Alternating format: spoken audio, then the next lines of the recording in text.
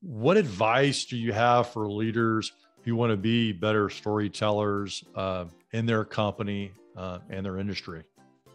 Well, you know, the the fodder uh, for great stories is usually already there. Hmm. Um, so so it's hmm. not so much subject to invention as it is um, excavation. You know, really digging up. You know, how did we get here?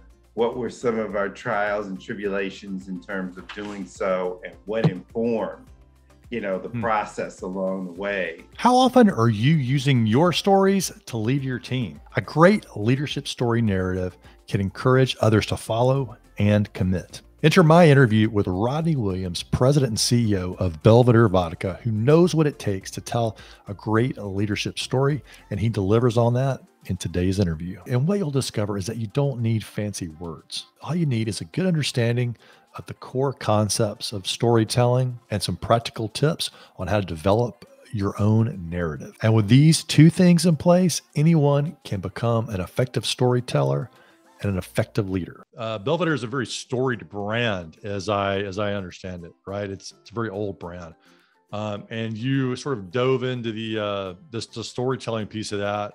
I guess sharing the history behind it. Uh, at least that's my impression what advice do you have for leaders who want to be better storytellers uh, in their company uh, and their industry?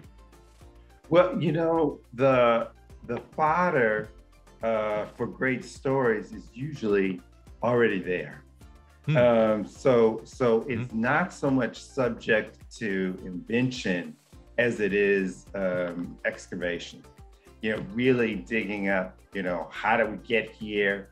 what were some of our trials and tribulations in terms of doing so and what informed you know the hmm. process along the way uh, um, such that, that that the product is what it is in 1993 the, the son of the real dear abby uh, was a, a, a, serial american entrepreneur okay uh, when, the, when the berlin wall fell in 89 he went east thinking there has to be a super premium vodka out there that I could bring to America and the world.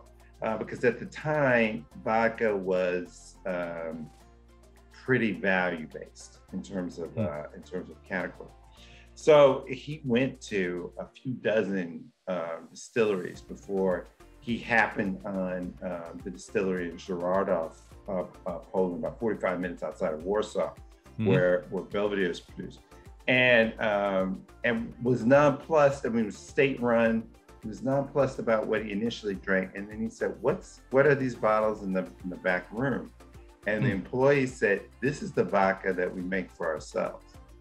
And he said, "That's Belvedere." well, and, and the oh, distillery, yeah. the distillery itself today, it's 111 years old. It's the oldest continuously operating vodka distillery in the world.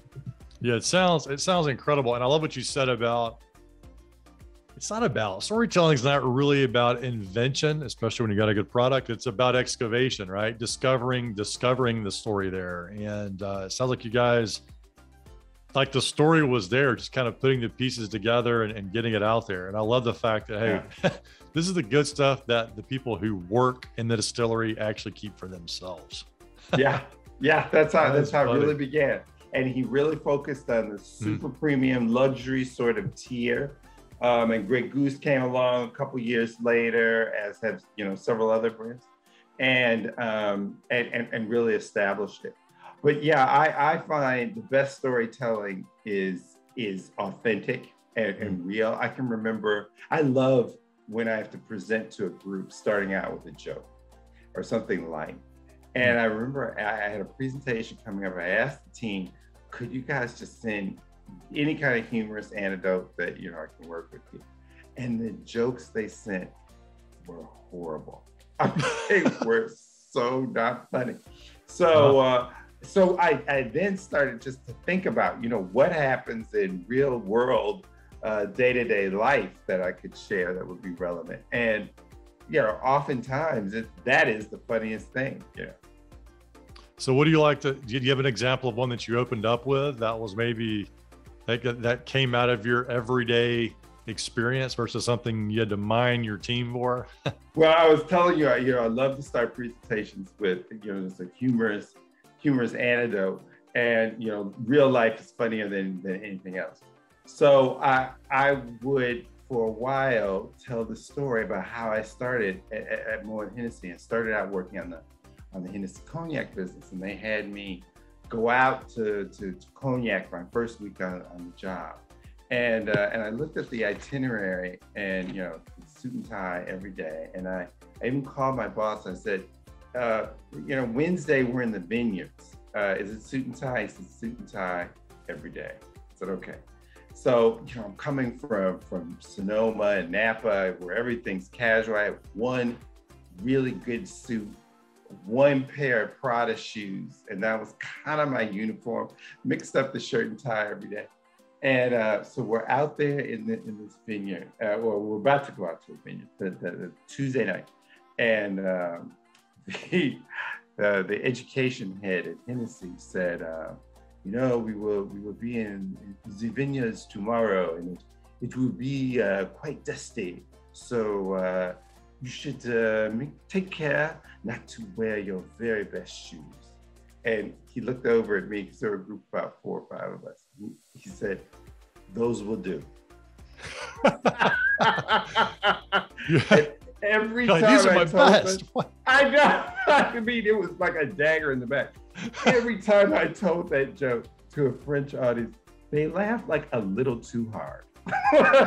like they Americans really don't get it. oh yeah. yeah. But it was true. It was. Yeah. True. Thanks, Rodney, for yeah. sharing that one.